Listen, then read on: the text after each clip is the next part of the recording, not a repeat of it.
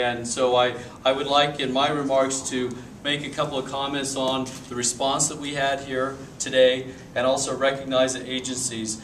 After uh, uh, our uh, police department had the initial response to today's incident, it became very clear fairly early in the incident that we would need assistance. And so assistance was sought and assistance responded. We are very grateful for that assistance. Uh, Chief Kiss contacted the State Highway Patrol. Uh, Lieutenant Rogers is here and we'll visit with you further in just a moment. But we did have, we did contact the State Highway Patrol. They did respond uh, and we are, we are very grateful for the amazing response that the State Highway Patrol uh, gave to the community of Alliance in Box Butte County.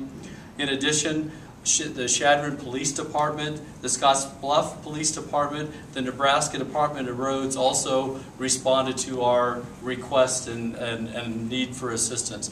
We are very grateful again for all that assistance. Uh, you know, this team effort, I think, helped us to get to the, at least to the point that we are today.